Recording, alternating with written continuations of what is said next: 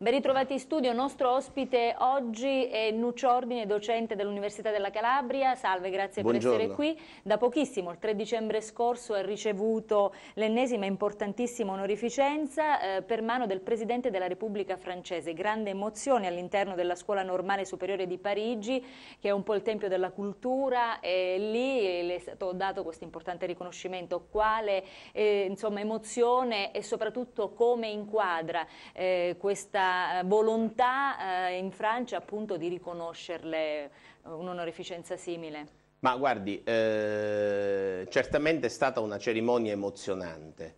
Eh, sono venuti alla scuola normale superiore un po' i direttori dei grandi istituti con i quali io collaboro in Europa. Era presente il direttore del Warburg Institute di Londra, il direttore del Max Planck di Berlino, il direttore del Centre de Recherche sur la Renaissance di Tours, erano presenti anche eh, alcuni importanti esponenti della cultura francese e la presidente della casa editrice Le Belles Lettres con la quale collaboro. Bene, eh, detto questo, eh, devo riconoscere che la Francia è un paese generoso ed è un paese dove i meriti vengono veramente valutati e ehm, diciamo io ho avuto la fortuna e l'ho detto nel mio discorso poi di ringraziamento, eh, di eh, vivere all'estero un'esperienza importante. E se io oggi sono quello che sono, lo debbo soprattutto alle grandi istituzioni con le quali ho collaborato, le grandi biblioteche che mi hanno ospitato e una serie di maestri che ho avuto la fortuna di conoscere all'estero. Non è un caso che io abbia dedicato la cerimonia eh, del conferimento della Légion d'honneur a Alain Second, che eh, per me, oltre a essere stato un grande maestro, è stato un fratello e un amico, purtroppo scomparso eh, il 2 maggio del 2011. Ebbene, eh, io ho avuto la fortuna di conoscerlo giovanissimo a Parigi, lui dirigeva quasi tutte le collane di erudizione di Belles Lettres, una persona che era in grado di parlare latino e greco e conosceva tantissime lingue. Con lui ho imparato tanto, ma ho imparato tanto da grandi maestri che ho avuto la fortuna di frequentare e quindi se oggi sono quello che sono, lo debbo soprattutto a eh, queste istituzioni e a questi maestri che ho avuto la fortuna di incontrare nella mia vita. Attraverso il suo lavoro di studioso lei si è focalizzato particolarmente sulla figura di Bruno, sul Rinascimento, ha eh, individuato e se vogliamo anche rafforzato le, i legami tra la Francia e l'Italia. Ma guardi, eh, il direttore della scuola normale ha detto una cosa molto bella nella sua introduzione. Combinazione quel giorno c'era eh, un vertice franco-italiano il 3 dicembre a Lione ed erano i ministri italiani e i ministri francesi che si incontravano per il famoso tunnel dell'alta velocità che dovrà legare Lione a eh, Torino. Ebbene, il direttore della scuola normale ha detto oggi c'è un altro vertice franco-italiano qui alla scuola normale, ma un vertice eh, dove si parla di ponti, di ponti intellettuali che probabilmente eh, non hanno meno valore, forse hanno, hanno più valore dei ponti materiali perché la circolazione degli uomini, delle idee, dei libri è una cosa fondamentale eh, nella storia del paese. E io devo dire che eh, pubblicare i classici in Francia, pubblicare i classici in Italia, eh, seguire le traduzioni di Bruno in vari paesi europei, ma anche in Brasile, in Russia, in Cina, in Giappone, eh, mi ha dato mh, la gioia e la possibilità di eh, fare delle esperienze straordinarie e di capire quello che Bruno stesso ci insegnava. Bruno diceva al vero filosofo ogni terreno è patria, cioè significa che la patria non è il luogo dove noi siamo nati, la patria è il luogo dove noi possiamo continuare le nostre esperienze nella libertà e soprattutto crescendo. Per cui Bruno, che è il teorico dell'universo infinito, nello stesso tempo riconosceva le sue radici e si chiamava il Nolano quando firmava, però questo è un insegnamento per noi. Rinchiudersi nei perimetri ristretti delle proprie radici significherebbe non capire nulla e non fare l'esperienza importante che bisogna fare. Partire significa affrontare un viaggio che poi è utilissimo nella nostra formazione. Insomma, rammaricarsi del solito problema dei cervelli in fuga non ha senso d'essere. Ma guardi, eh, il problema dei cervelli in fuga è un problema che è mal posto. Io quando mi chiedono queste cose mi metto a ridere perché in genere sembra che le chiedano persone che sanno poco della ricerca.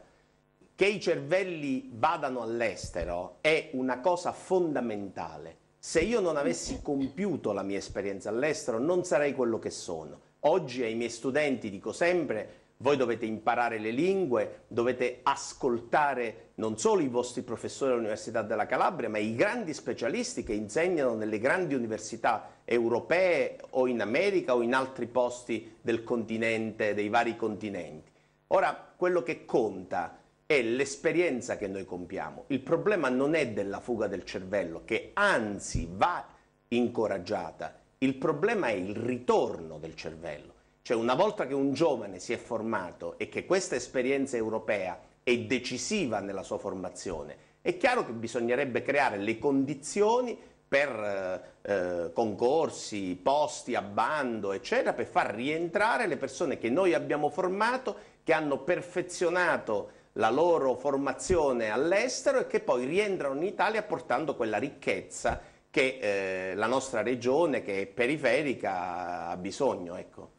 Ecco, lei dirige tra l'altro collane di classici italiani bilingue in Francia, europei in Italia e ci dice il suo lavoro eh, che punto Ma, è? Eh, guardi, io penso che oggi mh, mm, pubblicare classici in un momento in cui classici, eh, le collane di classici vengono chiuse non solo in Italia ma anche in grandi paesi europei è eh, una maniera controcorrente per resistere a un andazzo che purtroppo è pericoloso. Oggi nella nostra società viene ritenuto utile solo ciò che produce profitto. Ed è chiaro che i classici non producono soldi, i classici producono un profitto dello spirito. Ebbene, io dico che questa inutilità dei classici è invece utilissima oggi, perché noi viviamo in un momento in cui bisogna capire l'utilità dell'inutile ma bisogna anche capire l'inutilità dell'utile, perché molto spesso ci fanno passare per utili cose che sono assolutamente inutili. Pensiamo al consumismo che ci spinge a comprare e a, fare, eh, a circondarci di oggetti che non servono a nulla. Eh, pubblicare classici significa far capire ai giovani le comuni radici dell'Europa e soprattutto far capire ai giovani, penso a un grande classico come Campanella, l'amore per il bene comune. Oggi lo vediamo in politica, il grande dramma del presente è che le persone non pensano mai di ascendere o di salire in politica per il bene comune. Eh, sono operazioni che si fanno molto spesso per i propri interessi personali. Ebbene, nei classici c'è l'amore per il bene comune e Campanella dice a combattere, a diveller l'ignoranza io vegno, cioè che il primo male che oggi affligge la nostra società è l'ignoranza. È nell'ignoranza che eh, si celano i disagi del potere, è l'ignoranza che rende schiave le persone. Una persona colta può reagire, può eh, ragionare con la sua testa e quindi può dare un contributo serio e valido alla società. Ecco perché dico sempre ai ragazzi, leggete i classici, perché i classici ci fanno ritrovare le comuni radici europee e nello stesso tempo i classici rendono più umana l'umanità.